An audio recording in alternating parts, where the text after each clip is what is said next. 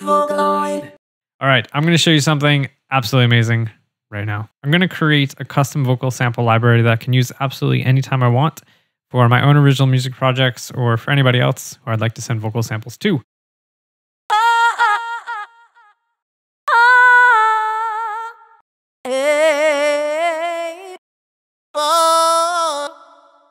And I'll be using Vocaloid 5 to do this.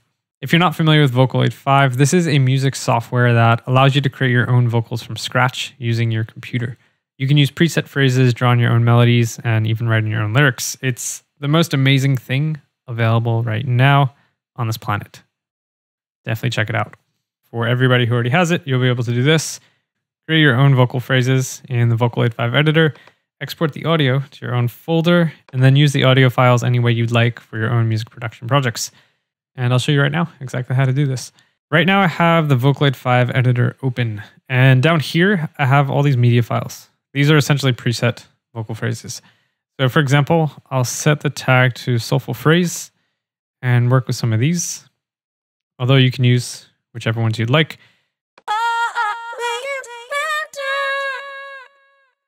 And you can see this is in the key of E flat minor, and the original phrase is at the tempo of 128.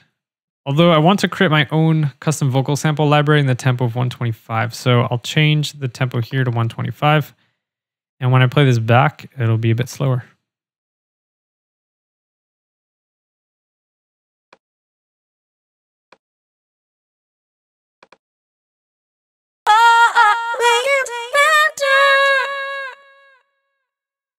And I want to create a new vocal one shot from this phrase, meaning a really quick vocal sample that I can use for any type of music, really. And I'll use the beginning of this phrase to do this. So I'll simply drag the end over.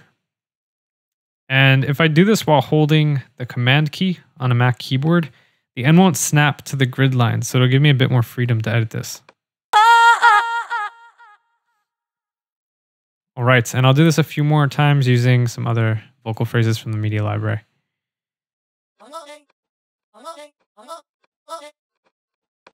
All right, so I have this one also, although the volume is a bit lower with this one. So there's two things that I want to do.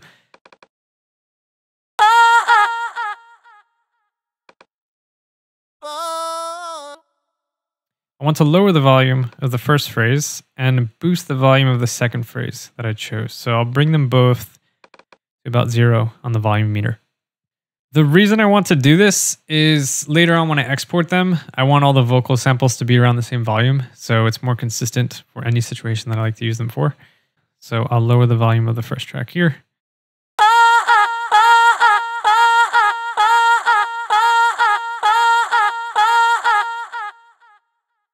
And the second track needs a volume boost, so I'll add the audio effect gain to boost the volume up to zero.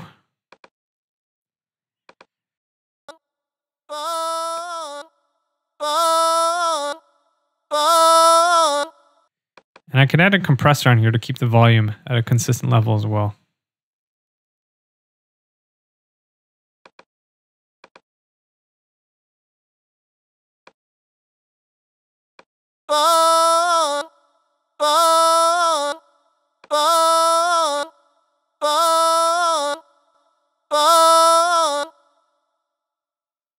And I'll add some reverb as well to add some space to this vocal one shot.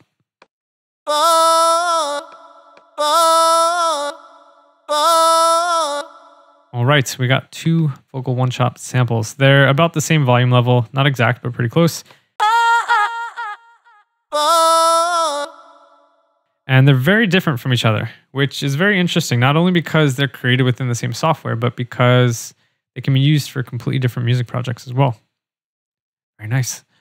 I'll create two more one shots using these two different phrases.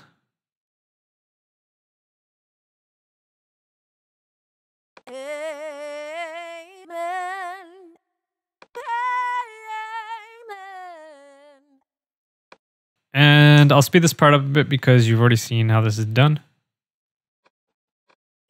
All right. All right. I'll stop it here because this is a very interesting tip even if you delete a note, you can extend a single note and it'll keep all the same pitch movements. Really cool trick. So I can adjust the volume and add some audio effects.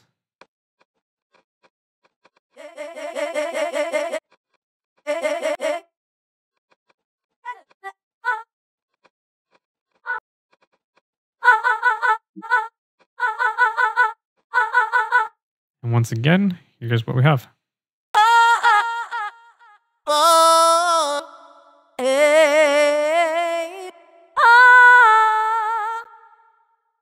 So I created these four completely different one shots and I'll simply set these up to export the audio into a folder on my computer.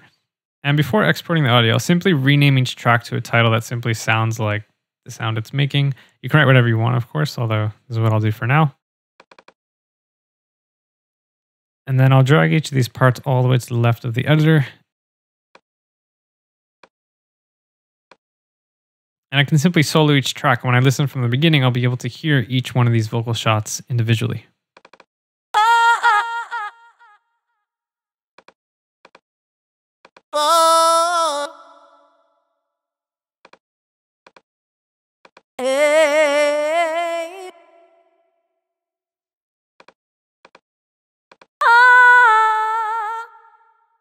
You can hear those are the four vocal samples we'll be exporting and I'll simply jump over to my computer desktop and create a folder titled One Shot Vocal Samples.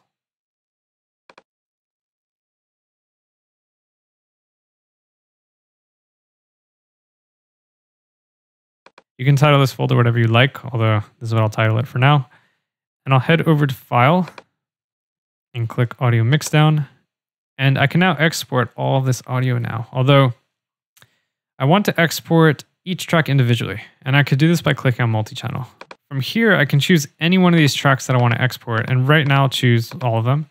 And for anybody wondering why I'm choosing all of these in multi-channel instead of master track, is because master track will export the audio for all of these tracks into one single audio file. By choosing multi-channel, the audio from each track will automatically be exported into its own individual audio file. So there will be four separate audio files with a single one-shot vocal sample for each file. I can also bypass the audio effects if I want to export a dry version, although for now, I'll keep the audio effects on there. And I'll click OK. And I'll choose the folder I want to save these audio files to. Right now, I have this folder I created on my desktop, so I'll choose this. And within this folder contains all my custom one-shot vocal samples. As for the title of the files, the project file is saved as V5 sample packs. So whatever your Vocaloid 5 editor's project title is will appear here. The track number is also shown and the track title is also shown as well. And of course you can rename this to anything you'd like.